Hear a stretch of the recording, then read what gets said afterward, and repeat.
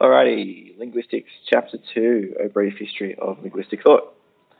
To appreciate the methods, to appreciate the methods and assumptions of modern day linguistics, we need to understand how people have reflected on language in the past and what has motivated them to do so. For Aristotle, for example, analysis of grammatical categories such as gender, number, and case in his rhetoric served primarily to illuminate a wider discussion of good style. Descriptions of non European language were often compiled by missionaries seeking to spread what they saw as the Word of God in parts of the world where European languages were not spoken. Emerging nation states promoted national standard languages, see chapter 12, and with them came the publication of prescriptive works which held up the usage of a social elite as the only acceptable norm for speech and writing. Our brief review of linguistic thinking through the ages reveals some remarkably contemporary themes. The notion of arbitrariness, which underpins modern structuralist approaches, emerges in Plato's work. A 12th century treatise on Icelandic spelling reform shows a very modern approach to phonology, and debates between rationalists and empiricists over innate ideas and universal, universal grammar uh, find 20th century echoes in Chomsky's clash with the descriptivists who preceded him, as we will see in chapter 8. But the Lord came down to see the but the Lord came down to see the city and the tower that the men were building. The Lord said, "If anyone, uh, if anyone people speaking the same language, they have begun to do this, then nothing they plan will be impossible for them. Come, let us go down and confuse their language so they will not understand each other. Uh, so the Lord scattered them from, from there all over the earth, and they stopped building the city. This is why it was called Babel, uh, or Babel, Babel, because uh, there the Lord confused the language of the whole world. That's Genesis 11, 5 to 9. The story of the Tower of Babel uh, in the epigraph above is one of many such myths in which confusion of tongues is seen as divine retribution for human hubris. Within such narratives, the natural processes of change to which all languages are subject are equated with decay, promoting the search for an original, uncorrupted, pre Babylonian tongue from which all others are held to derive. See case study below. National language myth. Myths. Writing in the 5th century, Herod, Herod, Herodotus uh, recounts how Pharaoh the uh, Psammetichus, of Egypt has set out to discover the original language of mankind by ordering that two children should be raised in isolation by a shepherd who was forbidden to speak to them. After two years, the children's first word was similar to bekos, the Phrygian word for bread uh, from which the Pharaoh was forced to conclude that the Phrygians and not the Egyptians were the most ancient people. Okay. As Robins points out, this tale has been recast with many different outcomes, revealing how the search for an original language is often suffused with nationalist ideology. The language of Adam has at various times been equated with Greek, Latin, or Hebrew, um, and, a, and a real or imagined association with an ancient language has often been spuriously advanced to promote the cause of a contemporary one. A treatise published in 1569 by the Dutch scholar Goropius Becanus, for example, argued that the oldest language was Cimmerian, traces of which he claimed could be found in the Brabantic Dutch dialect. In the same year, Henry Estienne published an impassioned defense of the French language, at that time emerging as a serious rival to Latin in France and a competitor, notably with Italian, for, uh, for international prestige, on the grounds of it being allegedly closer to ancient Greek than other European languages. Early linguistic scholarship. Early linguistic scholarship was often motivated by the need to preserve sacred and ancient texts for future generations. We, we, uh, we do owe much of our grammatical meta language to the description set out for Greek, uh, which was designed to facilitate reading of the Homeric text dating from around the 8th century. Our knowledge of the Sanskrit likewise derives largely from descriptions designed to preserve religious text from the Vedic period. In the Europe of the Middle Ages, the teaching of classical Latin uh, for liturgical purposes grew in importance as the Romance languages, Spanish, French, Italian, Portuguese, moved ever closer, moved uh, rather moved ever further from their Latin parent. Throughout history, debate has raged between two approaches, which might be labelled empiricism and rationalism. Very broadly, empiricists were and are concerned with the recording and analysis of observable fact of language structure as revealed in speech and writing, while rationalists seek to account for language in terms of innate abilities or ideas, linked to the latter is the concern with finding universals, i.e., features common to all languages rather than just to individual ones. Where the Port Royal grammars of the 17th century, see below, proposed universal linguistic categories on the basis of those found in the classical languages, the North American descriptivists of the 20th century celebrated the linguistic relativity, i.e., the view that each language conceptualize, conceptualizes uh, the world in its own way. The pendulum uh, was to swing back in favor of universalism with the publication of Chomsky's Syntactic Structures in 1957, see Chapter 8, heralding the emergence of the generative paradigm, which started from the belief that human beings are innately equipped to learn language, and that therefore, at an underlying level, all languages must be structurally similar. Uh, key idea rationalists versus empiricists. Rationalists uh, linked language to innate mental structures, while empiricists denied the existence of these structures and saw language as molded by sensory experience. A final important theme is that of linguistics as a science. Scientific model for linguistics uh, ha- has, however, varied over time, from comparisons to geology or natural history in the 19th century, with its focus on regularities in sound changes, to an emphasis on mathematical descriptive rules in the 20th. Part of the requirement for treating linguistics as a science, as we saw in Chapter 1, was the language be studied on its own terms, in sources, words, and elmine, et pour elmine, uh, in itself and for itself. However, it ultimately proved impossible to view language in isolation uh, from other aspects of human life. Language variation, for example, cannot be divorced from social factors uh, as class or regional uh, origin uh, with which it correlates. Part of speakers' unconscious knowledge of their mother tongue is clearly of a social nature. English speakers, for example, can make informed judgments about a person's regional origins or social background on the basis of his or her speech. Uh, the relationship between language and society is explored in the subdiscipline of sociolinguistics. See chapter 11 and 12. Uh, similarly, Meaning cannot be properly understood in isolation from context, and the knowledge shared by participants in an interaction, which form the subject matter of pragmatics, see chapter 10. The emergent fields of psych- psycholinguistics, neurolinguistics, and biolinguistics all attest to the interaction of linguistic study with other fields of scientific inquiry, uh, while the branch of linguistics known as stylistics uses theories of language to illuminate the study of literature classical and medieval linguistics. Greek linguistic scholars were profoundly to influence their Latin successors, whose thinking, as we saw in Chapter 1, exerts a profound influence on prescriptive English grammar even today.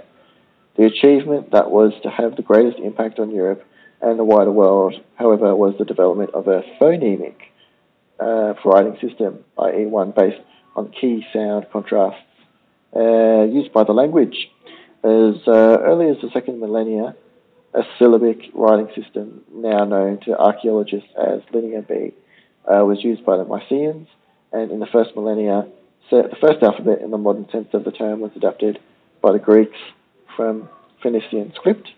The Phoenician alphabet alphabet has consisted essentially of consonants, uh, uh vowels, uh, which which in Sem- Semitic languages are largely predictable from word structure and context, do not generally need to be marked.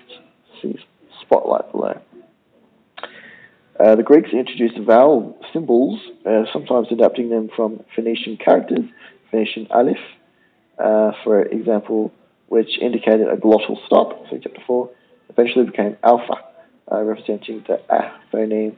Uh, the word alphabet is derived from alpha and beta, uh, the first two Greek letters. The alphabetic system was borrowed initially by the Etruscans of central Italy and subsequently adapted to become the Latin alphabet, which forms the basis for most modern European writing systems. Spotlight The ancient origins of text dash speak. Given the consonants of the word root KTB, an Arabic speaker can deduce the vowels and their positions from context and easily determine whether the word is kitab, uh, kitab, uh, or one of the cognates, katib, or kataba, uh, writer, and he wrote. Uh, this this works less well in English and other non-Semitic languages, given BLDR, for example, is not immediately clear whether the word, word is bolder, bolder, builder, or even bolder. Uh, yeah, four different words. And similar problems beset Greek, but it has often been pointed out there, even in English, sentences in which uh, the vowels have been omitted are still relatively easy to decipher. Uh, yeah, quick brown fox jumped over the lazy dog uh, with the all the vowels missing in the example sentence, while those in which the consonants have been left out are impen- impenetrable. The quick brown fox jumped over the lazy dog. This essential insight informs modern shorthand systems, conference interpreters, note taking, and of course, text messaging. Uh, uh, yes. Homer's Iliad and Odyssey, written probably in the 8th century, held a quasi scriptural status in ancient Greek education, and Homeric scholarship from the 6th century onward shows acute awareness of how the Greek language has changed in the intervening period. Uh, the problem of the problem of linguistic change is also explored in Plato's uh, Cratylus, uh, the theme of which is the fit between the essence of an object or concept uh, and its rendering in language. Socrates and the eponymous Cratylus himself argue for linguistic naturalism. Uh, the view that names or words uh, belong naturally to the objects or concepts they identify in Cratylus' view. Uh, these were laid down by the gods themselves, uh, though the connection between a word and its essence uh, may have become opaque as a result of linguistic change. The counterposition, conventionalism, is advanced by Hermogenes, uh, who sees no connection between words and concepts, arguing that they have come about purely uh, as a result of convention. The naturalist uh, perspective of Cratylus in particular reflects a purely Hellenocentric worldview. The ancient Greeks were generally uninterested in languages other than their own, speakers of which were dismissed as barbaroi, uh, from which the English uh, barbarian derives. And the question of why, if words are divinely ordained, languages express similar concepts in so many different ways is simply not raised. But what is interesting about uh, this dialogue is the debate it prefigures about arbitrariness in language, uh, which will be central to Saussure's thinking in the early 20th century. See chapter 3. A grammatical description of the Greek language uh, was provided uh, by Aristotle, whose rhetoric offers a rudimentary uh, categorical description of Greek words into nominal and verbal elements, together with a third class of functional elements he called syndesmoi, uh, and which included conjunctions, articles, pronouns. Uh, this was developed by Dionysius Thrax in Alexandria, uh, whose Techne Grammatike, uh, Art of Grammar, uh, set out the basis for the parts of speech of traditional grammar. His eight word classes included nouns, verbs, participles, and articles, but not yet adjectives. At this stage, these are seen to form part of the noun class. Uh, later Roman writers largely adopted Di- uh, Dionysius, Di- Dionysius categories and applied them to Latin.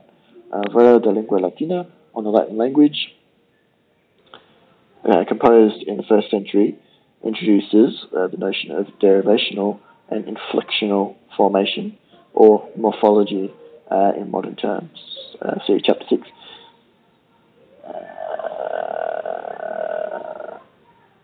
Priscian's Foundation of Grammar, uh, written some six centuries later, presented some minor modifications to Dionys, Dionysius' system, omitting, for example, the word class for articles, which Latin did not possess, and also addressed pronunciation and syllable structure.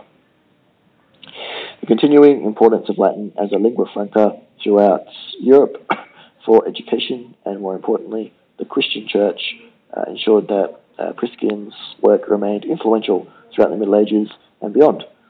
See case study below. Descri- the descriptions of other languages, Welsh, Irish, Provençal, uh, which appear in the early medieval period, uh, often based on Pris- Priscian's model uh, or are designed to illuminate the study of Latin. Uh, Ælfric says of his Latin grammar, composed around the turn of the 11th century and believed to be the first grammar of Latin in, in a vernacular or low status language.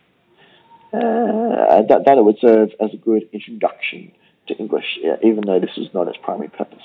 Case study Charlemagne and the law of unintended consequences. History is littered with examples of top down intervention in linguistic matters that have not had the desired effect, and there is none better than Charlemagne's disastrous attempt to reintroduce classical Latin to the uh, Carolingian Empire over which he reigned from 800 to 814. Following the fall of Rome, spoken Latin had fragmented quickly into what became known as Romance varieties.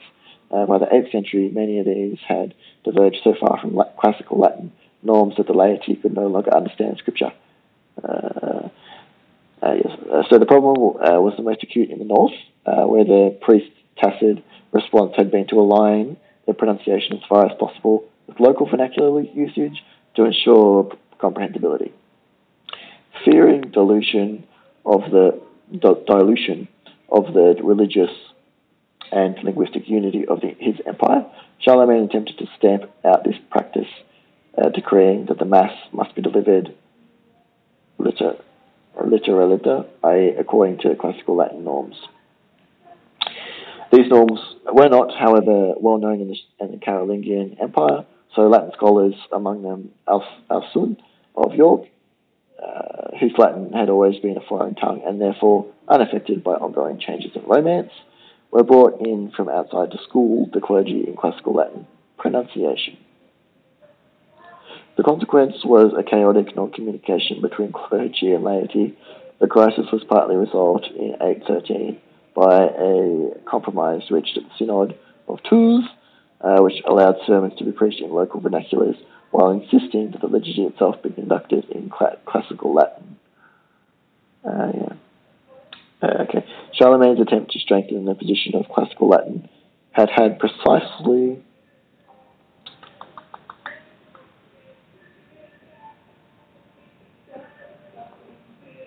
uh, precisely uh, the opposite effect.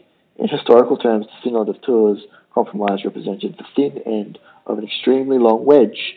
Uh, the, the diglossic relationship between Latin and the, and the vernaculars, see chapter 12, had started to leak in favour of the latter, the local vernaculars now fulfilling a function formerly reserved for Latin. The retreat of Latin would continue remorseless, remorselessly over the centuries, with one of these vernaculars, that of Paris, gradually usurping all of its main functions. This variety, known as Francais or French, became the official language of the French nation that would later emerge. In the nation states which developed elsewhere in the former Roman Empire, Latin would similarly, similarly be replaced in its high or H functions by standard varieties of other Romance languages, uh, Italian, uh, Spanish, Portuguese.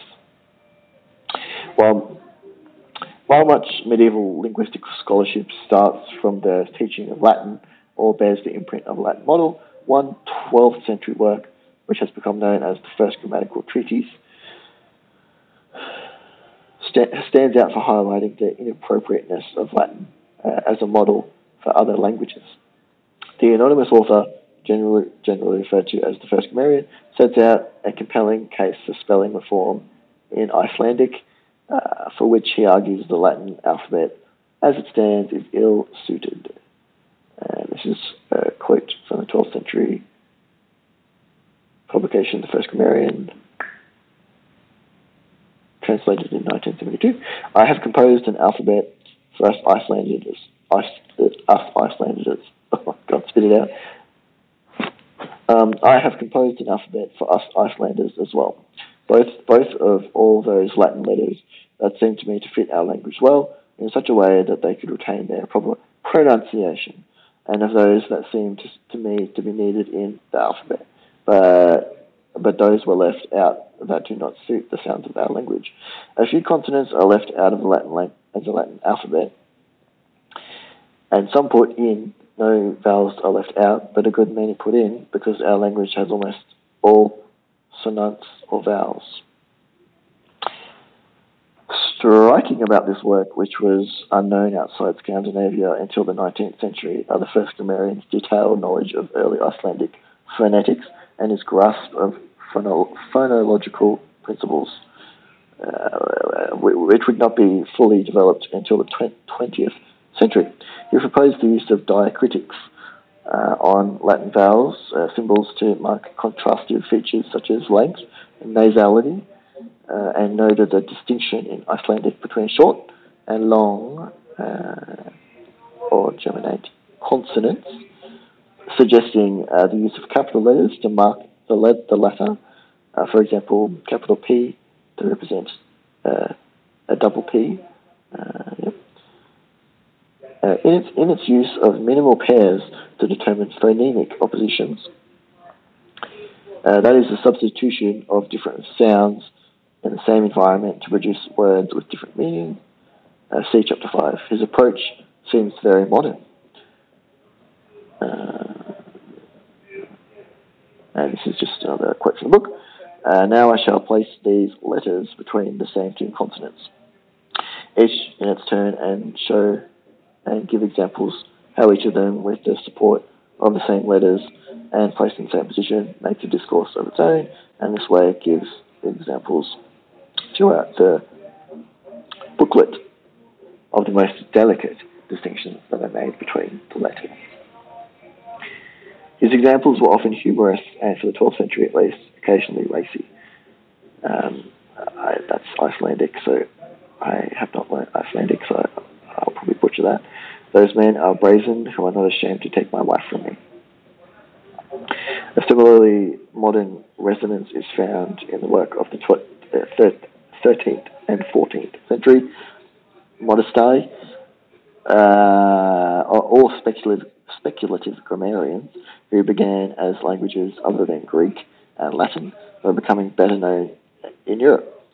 Uh, to question the philosophical basis of grammar.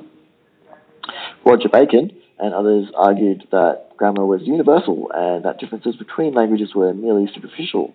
The theme of universal grammar was developed further by Lancelot and Arnauld in their Port Royal grammar. Uh, Yep. First published in 1660, which viewed grammar as the product of innate mental processes. Uh, this rationalist position was rejected by the British empiricist philosophers Locke, Hume, Berkeley, who denied the existence of innate ideas and held that knowledge was a product of sensory experience.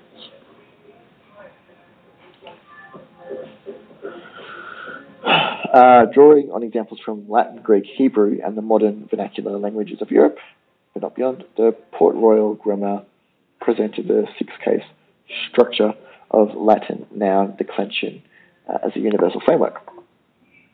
realized in a variety of ways by different languages. In the Romance languages, for example, much of the grammatical work, which had been done by Latin case endings, was now performed by prepositions. The belief in language as a window to universal logic or laws of reason, exemplified by the Port Royal grammar, prompted a search for fundamental roots from which uh, words are derived. Uh, this led in turn to some fanciful or often unsustainable etymology, uh, exemplified, for example, in the work of Horne Tooke, uh, whose two volume, The Diversions of Purley, was published in 1786. Culler note notes that Tooke's tenuous speculations of the nature of the word bar. Uh, Culler, 1976. A bar, in all its uses, is a defense uh, that by which anything is fortified, strengthened, or defended. Barn is a covered enclosure in which the grain, etc., is protected or defended from the weather, from depred- the depredations, etc. A, a baron is an armed, defensible, powerful man. A barge is a strong boat. A bargain is a confirmed, strengthened agreement. A bark is a stout vessel. The bark of a tree is its defense. The belief uh, that linguistic signs have a rational, rational basis, obscured by phonetic change, phonetic change, is, as we have seen, an enduring one. But it became increasingly untenable as the diversity of human language became better understood. It was not, however, until the 20th century and the work of Saussure, see chapter 3, that the essential arbitrariness of the sign family became a central tenet in linguistic thought. The age old conflict between empiricism and rationalism, however, has continued in different guises to this day and finds new expression in the debates between proponents of universal grammar within the generative paradigm and their critics. Key idea linking form to meaning. The quest for a fundamental link between form and meaning, obscured by language change, led to some fanciful etymologies. Uh, okay, the prescriptive tradition. As new standard languages began to replace Latin in the nations of Europe, a flourishing market emerged from manual, uh, uh, uh, manuals of good speech and writing. This prescriptive tradition, over which Latin cast a long shadow, was especially strong in France and Great Britain. Uh, in France, battle lines were drawn from the 16th century between those who equated good usage with that of a social, social, social elite, the royal court, and members of an intellectual elite trained in classical languages who saw themselves as the proper arbiters uh, of linguistic correctness. The interests of the former largely prevailed, and Vaugelas's remarks on the French language, Remarques sur la langue française, published in 1647, became a veritable Bible for social climbers anxious to learn the secrets of the good courtly speech.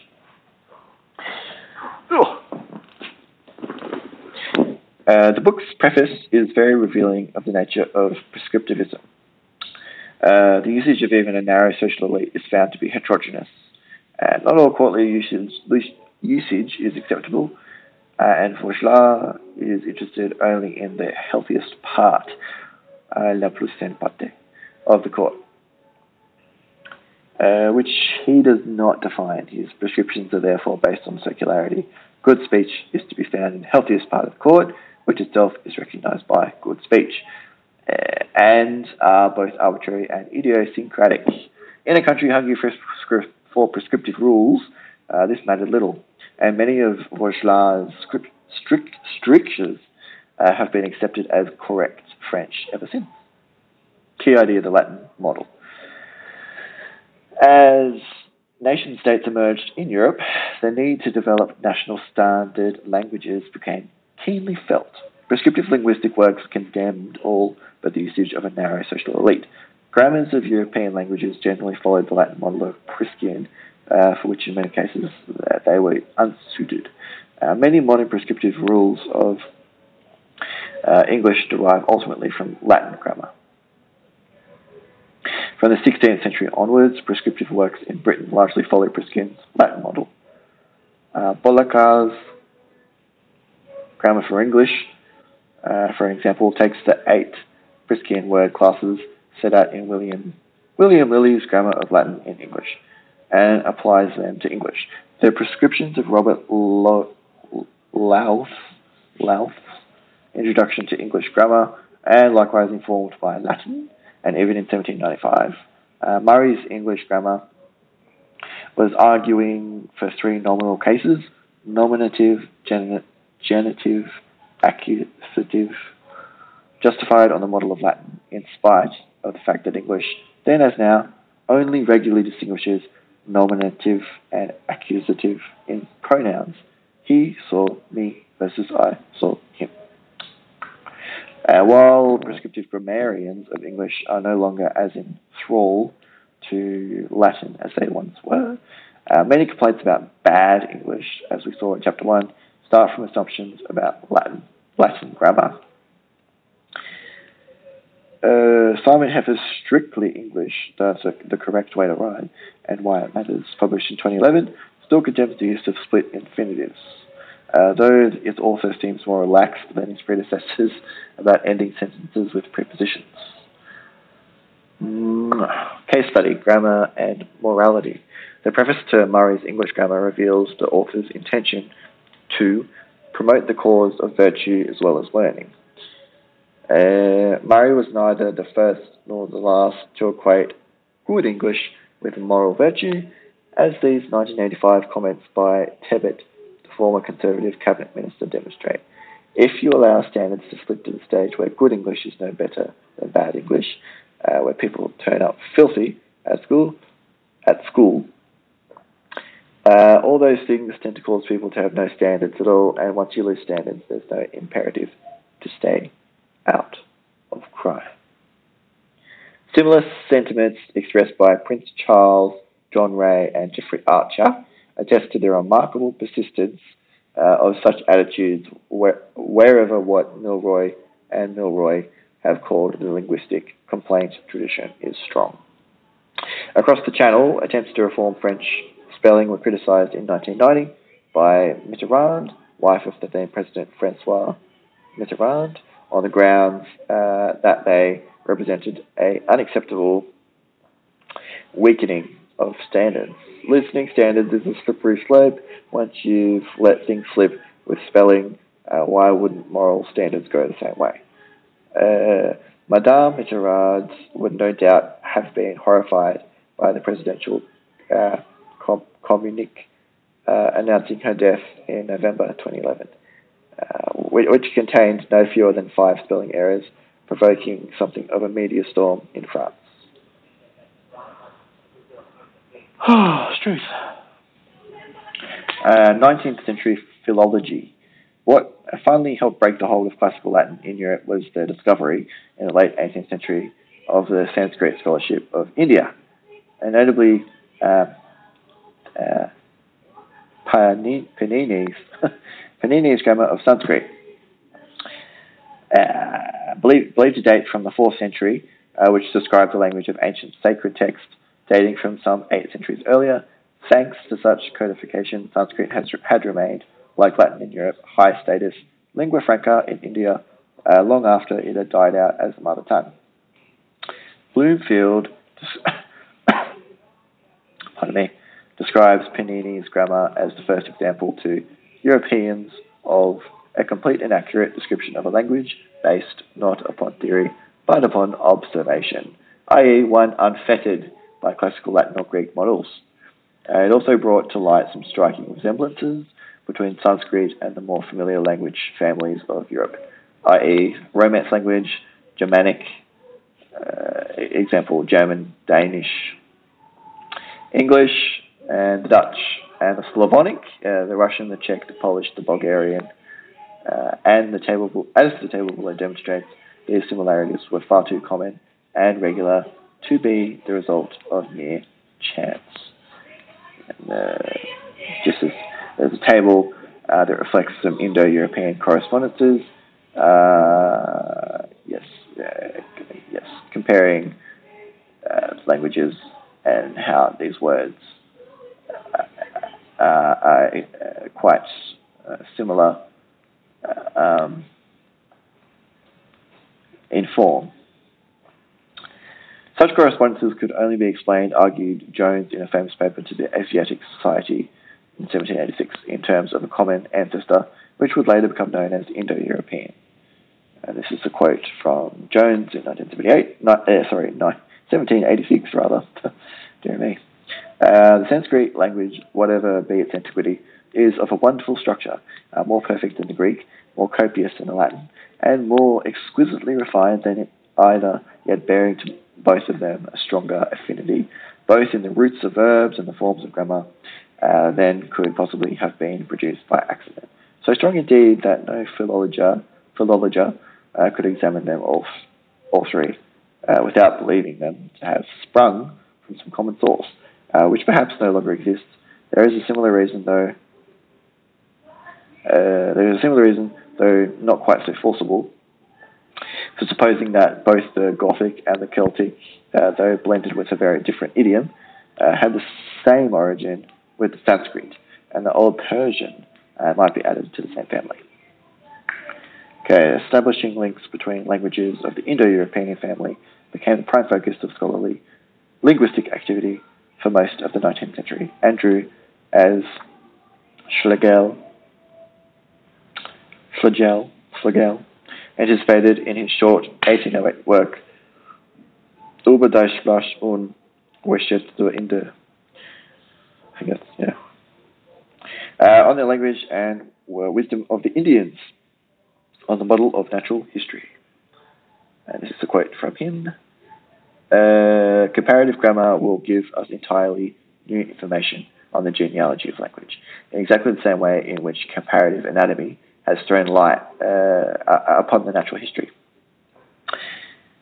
Where biologists found similar physical features in a number of different organisms, they concluded that, in all probability, they had been inherited from a common ancestor, uh, even where no direct evidence for an ancestor was available. Uh, to a similar vein, where philologists uh, working from historical written sources found correspondence between basic lexical items that were unlikely to have been borrowed, they posited a common ancestor in Indo European. Uh, of course, no written evidence for Indo European, widely believed to have been spoken for some 6,000 years, where it was available. But on the basis of regularities between its descendant languages, explained in terms of sound, sound laws, a partial reconstruction known as Proto Indo European, or PIE, P-I-E, was, was developed. Uh, the best known example of such correspondences is Grimm's Law, uh, named after Jacob Grimm, uh, but uh, drawing on the observation of Schlegel, Kahn, and Rask, uh, which explains a number of correspondence between Latin, Sanskrit, and Germanic in terms of sound changes uh, from Indo-European. Uh, in some words, in many words where Latin has P, the Germanic languages have F, uh, as in the example below. There's little uh, P, F correspondences in Latin and Germanic uh, table. Uh, note that the letter V has the value F in German. Grimm explained this in terms of PIE voiceless stops. P, T, K becoming fricatives. Uh, it has some Germanic letters there. I'm not sure how they're pronounced. Uh, but not in Latin, Greek, or Sanskrit. Compare Latin canis, Greek, I don't know how to say that, kuon, uh, but German Hund, English hound. Uh, related changes saw PIE voiced stops, uh, B, D, G, uh, became voiceless, P, T, K. Hence Latin duo, but English two, Swedish tuva. From these regular patterns of sound change, uh, Schleicher developed the family tree model, uh, which owed much to botanical classification methods developed by Linnaeus, tracing the parentage of living language back to PIE. Uh, one version of the Indo-European family tree can be seen in the following diagram. Uh, Proto-Indo-European at the top, and then trickling down into many, many, many languages. Uh, yes, going down from Germanic Slavic, Italic, Celtic, Hellenic, uh, Indo-Iranian, then it goes down all the way to modern English and to modern languages. Key idea, a common ancestor. Parallels between Sanskrit, Latin, and Greek led philologists to posit a common ancestor, which was reconstructed from historical evidence as Proto, uh, Proto-Indo-European. Family trees saw historical relationships between languages, but fail to account for the effects of language contact. The family tree model is a useful presentational tool which has been successfully applied to other language groups. For example, for example Eskimo, uh, Aleut, Sino-Tibetan, Austroasiatic, but it is nonetheless uh, misleading in a number of respects. Firstly, it takes far too little account of language contact. See case study on next page.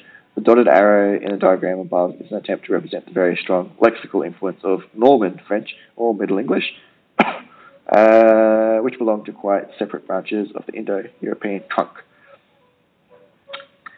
Uh, the branching uh, works well where there is a physical separation between speaker groups, uh, allowing varieties to develop independently, as in the case of Afrikaans and Dutch. Uh, but, but in most cases, the picture is rather messier, as branches often confusingly intertwined. The model also presupposes relatively homogeneous varieties separating into dialects, which appear at the end branches of the tree ignoring the fact that all languages are internally variable. Labeling a single branch as example English suggests that a homogeneous variety of that name emerged first, from which dialects were to branch off later. In fact, historically, the very opposite was true. The dialectal divisions were present all along. And the codified standard language we now call English emerged from contact between a number of them. Case study, meet the family. From the language family tree, it can be seen that English is genetically, genetically, uh, the use of this biological metaphor is common in describing the relationship between language. Part of the West Germanic branch, and that its closest relative is Fris Frisian, a language spoken, spoken in the northwest Netherlands, uh, which was recognized, my, which, which has recognized minority language status and its own language academy uh, Frisk Academy, 1938. The close family relationship between the two languages should not be taken too literally. They have diverged from each other considerably and uh, have had different contact histories. English vocab was hugely, hugely influenced by Norman French as a result of the Norman conquest of 1066. While the Frisian, Frisian language has seen extensive uh, lexical borrowing from Dutch, but nonetheless, uh, close similarities to English are still evident in the following examples taken from the Virtual Linguist website. Uh, so there's just some example sentences uh, contrasting languages. The practitioners of comparative linguistics in the 19th century recognized that if their discipline were to be taken seriously as a science, it required testable laws and hypotheses akin to those of geology or physics. Uh, the Neo-Grammarian hypothesis, which emerged in the uh, last quarter of the century, was very much a response to the perceived need for scientific rigor. The hypothesis held that changes to a particular sound uh, in a particular environment uh, simultaneously affect all cases where the environmental condition is satisfied. Sound laws were held to be exception, exceptionless, unless some ex such exceptions could be explained either by other laws. Verner's law, for example, explained a number of apparent exceptions to Grimm's law, or by analogy, changes in one word form to match another. See chapter three, uh, chapter thirteen, for examples. The best known formulation of the hypotheses uh, is found in Osthoff and Brugmann's Foundations of Language. And then this is from that book. First, every sound change, inasmuch as much as it occurs mechanically, takes place according to laws that admit no exception. Uh, that is, the direction of the sound shift is always the same for all the members of a linguistic community, except where a split into dialects occurs, and all words in which the sound subjected to the change appears in the same relationship are affected by the change, without exception. Uh, the, posi- the position statement in what some have called the Neo-Grammarian Manifesto uh, have, have been often criticised, uh, not always fairly. Evidence from Gilliéron's monumental Atlas Linguistique de la France, Linguistic Atlas of France, see Chapter 11, painstakingly compiled in the last decade of the 19th century, seem to belie the neat, exceptionless laws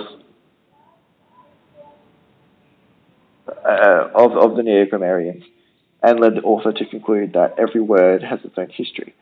But the differences between the, these apparently opposed positions were essentially ones of emphasis.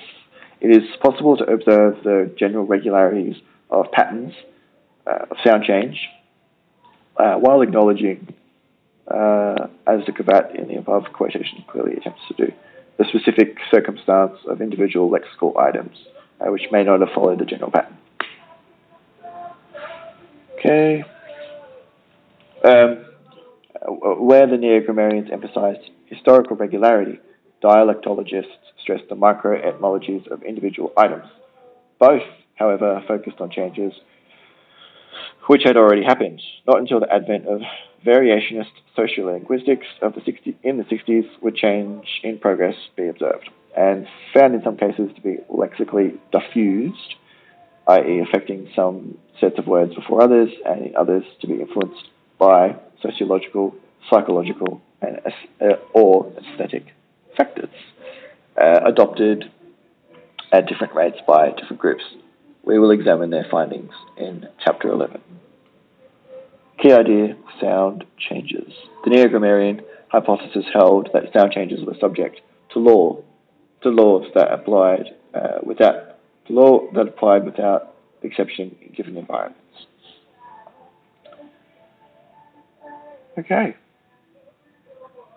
That is chapter two.